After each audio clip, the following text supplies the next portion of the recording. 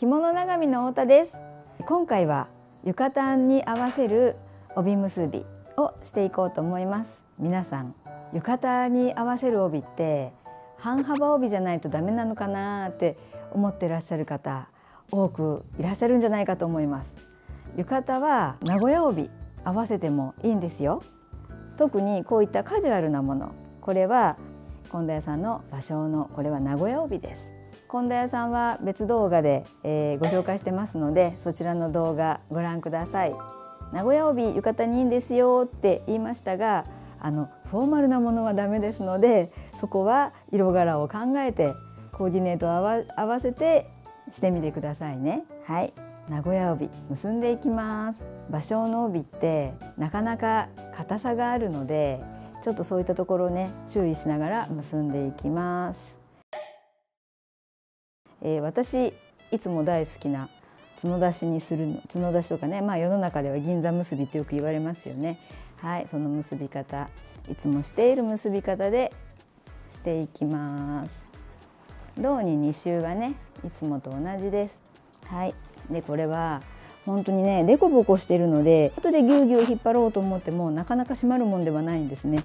なので一回一回その余分な空気を抜きながらきちんと折り目をつけるところは折り目をしっかりと安定させてつけるようにかつ揃えるところは揃えるべきポイントできちんと揃える。例えばここで後ろがずれていることを後で直そうと思ってもそうそう直るもんではありません。はい。こんな感じで。でしっかりと空気を抜いていく。そういうイメージで2周体に巻いていきます。はい。2周巻きました。えー、後でね手が離れてもいいように下線止めるんですけど私が好きなこの角出しや銀座結びは1回結びます。結ばない角出しとか結ばない銀座結びっていうのもよくねあの見かけますそれはそれであの帯にしわ入らないしと思うんですけど実はこの結び目がねぷっくり膨らみをキープしてくれるので私はやっぱ結ぶ方が好きだなと思って結んでます。でこの硬い帯なのでここ結ぶのが結構一苦労なんですよ。でこれ緩いままなのでで結ぶ位置もねできるだけこの上のラインを意識して結んでいくんですがあとはもうこう絞り上げるように後でね緩みになっても嫌なのでしっかり絞り上げるように結んで結び目を交差です。交差して、えー、これね角角です。角になるところ止めておきます。はいそうしましたらですよ。ここでこの硬い硬い根元を開いてまあ、この根元もねこの開きやすいようにねじったりして向きを正しい位置に戻してやると開きやすくなりますね。はい。こんな感じ。これで帯枕入ります。帯枕を入れて、はい、ここねクリップかけとくと楽なんですよ。クリップの内側に帯揚げをかけちゃってで後ろで仮結びです。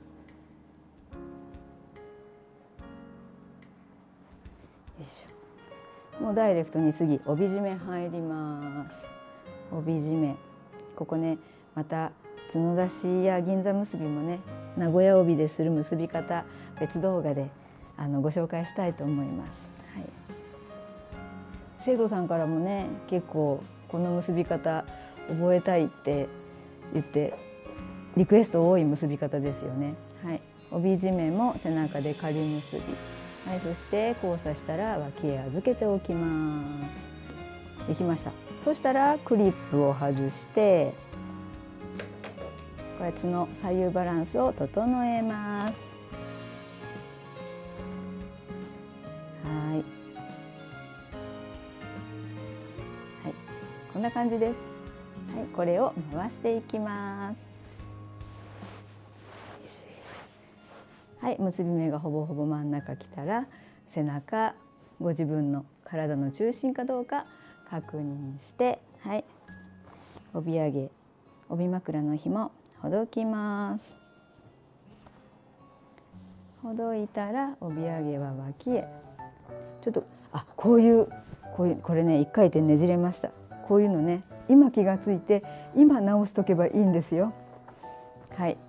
でこれは、えー、しっかり背中に密着させて結んだら、はい、帯枕のねできるだけ低い位置までギュギュッと押し込みます。脇から下げていって真ん中。しっかり下げておきましょう。そしたら帯締めです。帯締め。長さを揃えたらこの中心がね揃えた長さを揃えた中心がご自分の中心に来るように。はい。そしたらここは、えー、いつも通り結んでいきます。帯締めの結び方もまた別動画出しておりますのでそちらをご覧ください。で房のねできるだけ端っこを房が上向きになるように入れていただくとすっきりします。うやってピョッと出てるちょっとの格好悪いのでこれはできるだけ後ろへ倒して長すぎたら帯の中へでも入れておきます。はい。帯揚げもあの別動画で帯揚げの結び方しておりますので、はい、でこういうね柄物はね柄がねじれないようにあの結ぶというのが私流でございまして意地でここを合わせていきます。意地で合わせていってどうするとまっすぐいくかなっていうのをここで測りながら考えながら帯枕のちょっとした加減でずれる時ってあるのでこう決めてしまわずに毎回その時にあ今日はここら辺が中央になりそうだとかっていう感じで合わせていきます。はい。今日のポジションここ。そしたらこれ結んでいきます。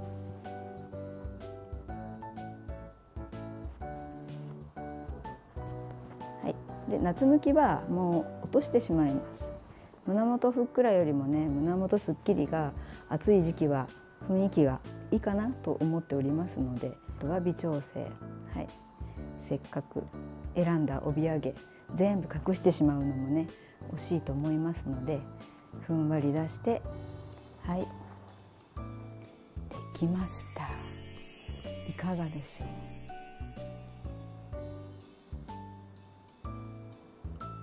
ご視聴ありがとうございました。チャンネル登録コメントグッドボタン SNS のフォローよろしくお願いします。着物長見の太田でした。